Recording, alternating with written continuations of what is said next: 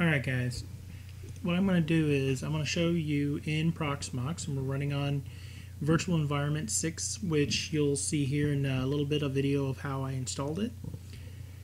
But right now I have one local storage set up. Now, I'm going to go ahead and create an actual container in my Proxmox environment. So first, let's go to Templates, which is under your storage and you'll notice that you have a whole bunch of systems to choose from. You got several turnkey ones, which are some pre-configured environments that you can use, or you could go ahead and go with a base install, which I'm going to go ahead and choose here. Uh, let me see. I am going to actually choose a CentOS 7 and hit download. You just let it do its thing here. Luckily I got a fast internet. So, ta-da, done. Now, I have this CentOS base image. Now I can go ahead and go here to my VM host, and you'll notice that actually, regardless of where I am, up at the very top there, you'll see the create VM, create container, all of those, regardless of whichever window you're in. So you don't have to keep moving, but I tend to do that. So I'm going to do create CT, which is create container. My host name, I'm going to name this one VPN and I'm just going to put in my password here. And I can load in an SSH key if I would like to, which I'll probably do a little later on. But for right now, I'm going to go ahead and store it in the local storage. I'm going to choose my CentOS machine, and I'm going to go to my root disk. I don't need a lot for my space here, but I am going to go ahead and say, let's do a 15 gig drive just in case. Um, I'm going to go ahead and give it two virtual cores. And I'm going to give it 248 gigs of RAM with a 248 gig swap. Um, officially, it probably wouldn't even need that much because I'm going to be running it without a GUI. Um, yeah, actually, let me make an adjustment to that. I'm going to go 1 to 0 to 4, so a 1 gig of memory with a 2 gig swap. Let's go with that and my network. In this case, uh, it's going to spin up its own tunnel because I'm going to be using Open Connect in my VPN here, which I'll be showing in a later video.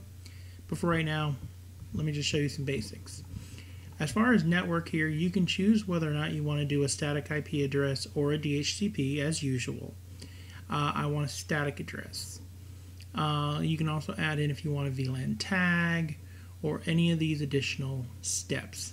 Now you'll notice I already have a VM bridge created. If you've seen my other video, link above, you'll see a basic walkthrough out of that. If you have any further questions, uh, comments, or concerns, please leave your messages down in the uh, comments below. I do respond, or at least I try to respond to everybody. Um, so I'll be able to respond to whatever questions that you may have. Um, all right, so what we're going to want to do is I want to give this thing an IP address. Now, one of my VPNs that I have on another Hyper-V environment is uh, 99, I believe. I want to say it's 91, actually. So let's make sure, let me make sure 92 is available. I can, there we go. I'm doing this off camera, sorry about that. All right, 92 is available. So let's do 92 and do it as a slash 24 and 254 and I'm not going to worry about IPv6 right now and leaving everything else as is. DNS settings. Now the domain is going to be your domain. You can do it as uh, local domain. You can do it as whatever you want to do. I'm just doing my bakatech.com and then the DNS servers. I'm going to go ahead and put that as for the actual local router, and then I'm going to add a secondary one to Google. So I just added a comma there. And then confirm your settings and hit finish. Now there is some adjustments you can make to advanced, um, adding in different things such as like IP addresses, uh, not IP addresses, but PCI pass-throughs, USB pass-throughs. Um, there's various configs that you can actually do, but I'm just showing a basic one here for right now. now you have your VM or your excuse me your container and you can start it up.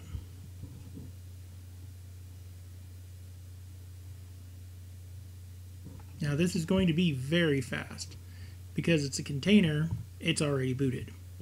And your login that you created earlier will get you in.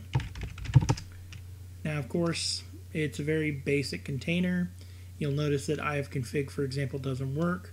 So what you're going to want to do is do like say yum install net tools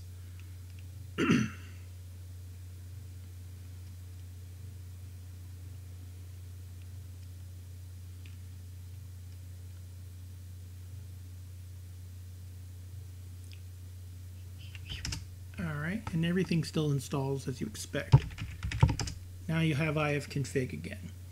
Um, some basic tools I recommend, especially for your um, core installs of CentOS, NetTools, Bind Utilities, um, Nano because I like I prefer that editor, um, Git, curl, wget.